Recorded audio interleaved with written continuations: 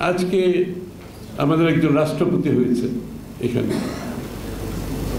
আমি বলতেছিলাম যে আমার কি কোনো মন্তব্য করব কিনা। আমার এক সহকর্মী বলেন মন্তব্য করবেন কি? আমরা তো সবাই কি হয়েছি? স্তম্ভিত হয়ে গেছে। আমরা বাকরুদ্ধ হয়ে গেছি। দেশ মানুষ বাকরুদ্ধ হয়ে গেছে। আপনি আপনি কি আপনি কি মন্তব্য করবেন? আসলে মন্তব্য করার মতো কিছু আছে? যেখানে আপনি বাকরুদ্ধ হয়ে যান, সেখানে তো মন্তব্য করার কিছু নাই। এই যে ইতিমধ্যে ঘটনা বলে অনেক কিছু ঘটছে, মানুষের মধ্যে এগুলো আলোচনা হচ্ছে। যেই সম্মানের জায়গাটা, সবচেয়ে বেশি সম্মানের জায়গাটা যদি আজকে প্রশ্নবিদ্ধ হয়, তাহলে আপনি কি করবেন? কিন্তু সেটা হতেই হবে। একটা অনির্বাচিত, অবৈধ, দখলদার, আপনার ফ্যাসিস্ট সরকার ক্ষমতায় থাকলে সেটাই তো স্বাভাবিক। কে কোথায় যাবে, কার কি সম্মান, পরস্পর সম্মান বোধ আজকে কোনো কিছু বাংলাদেশে নাই। যে জনগণের থেকে বিচ্ছুত হয়ে কমপ্লিটলি পরাজিত হয়ে যারা আজকে বিদেশিদের পেছনে ধর্ণা দিচ্ছে।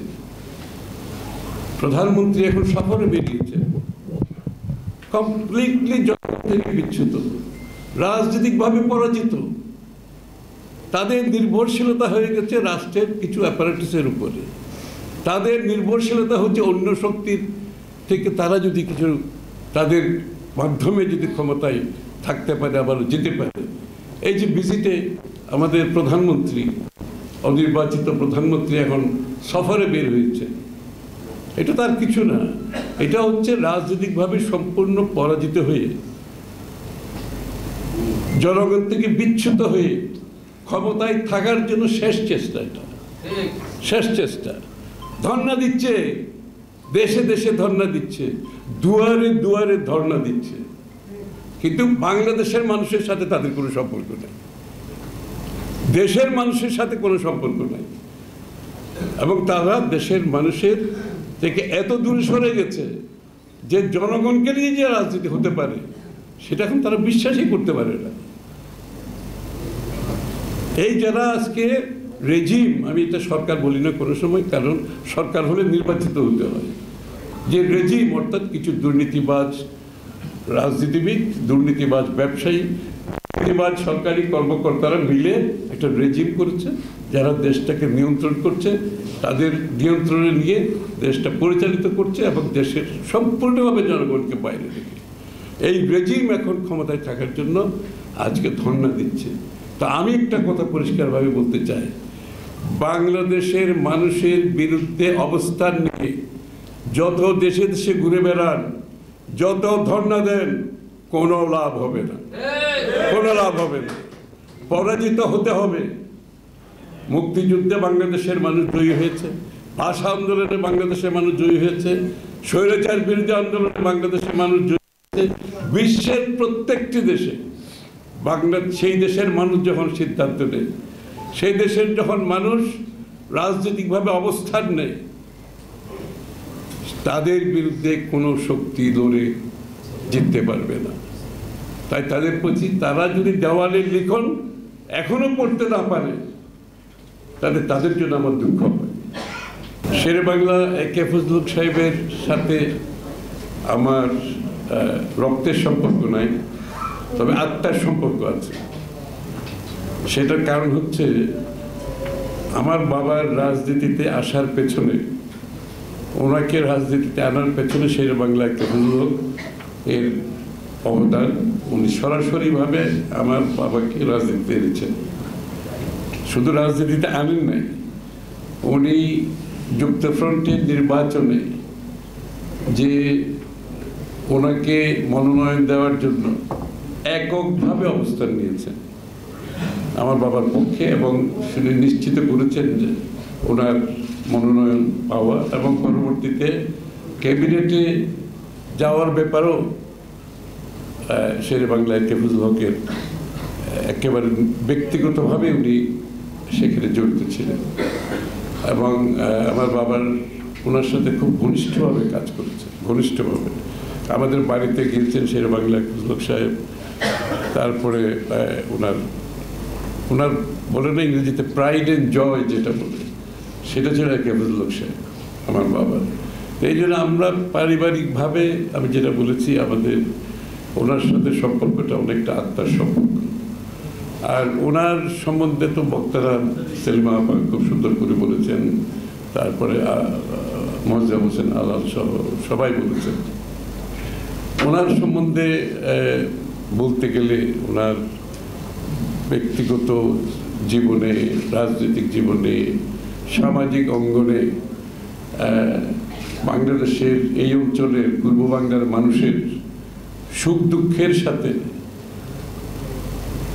যে সব জায়গায় জড়িত আছেন এই মানুষটি।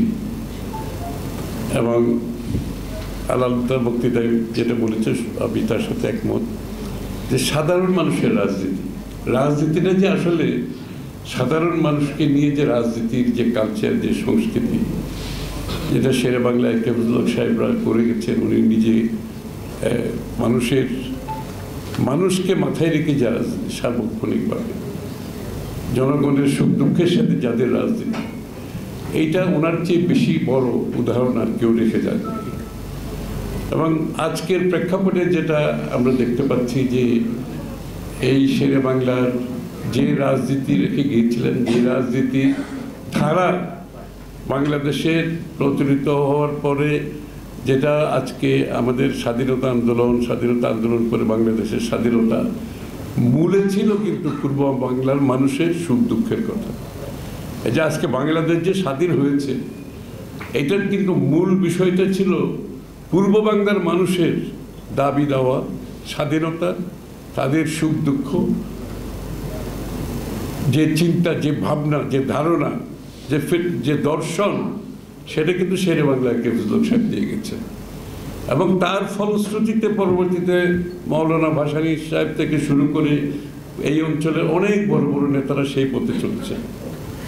এবং শেখ মুজিবুর রহমান সাহেবও সেই পথে চলেছে, ফলশ্রুতিতে। এবং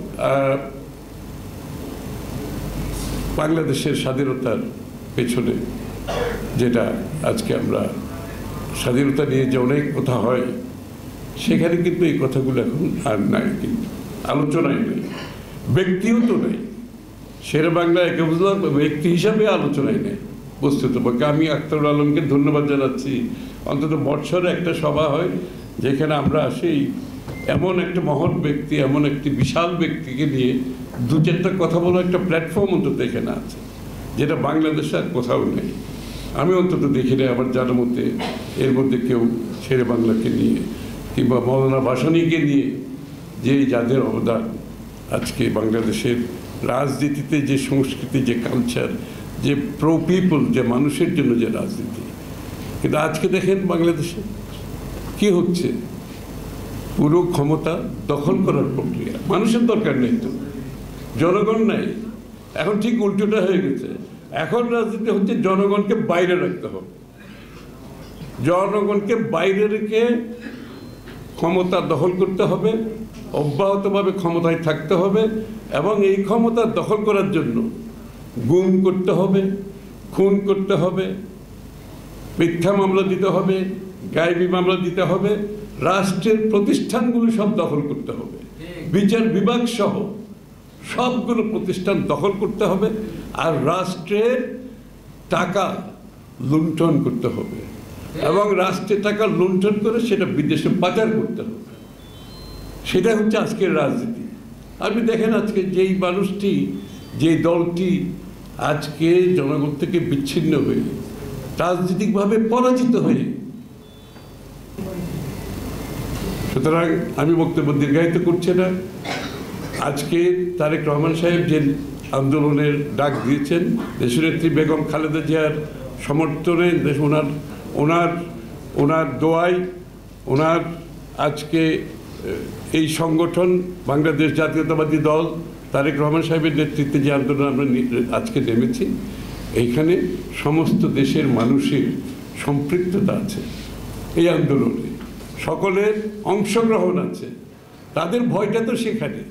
যেখানে দেশের মানুষের সম্পৃক্ততা থাকে, অংশগ্রহণ থাকে, সমর্থন থাকে, দেশের মানুষ যেখানে এগিয়ে আসে, সেই আন্দোলনে কেউ সম্মুখীন হতে চায় না।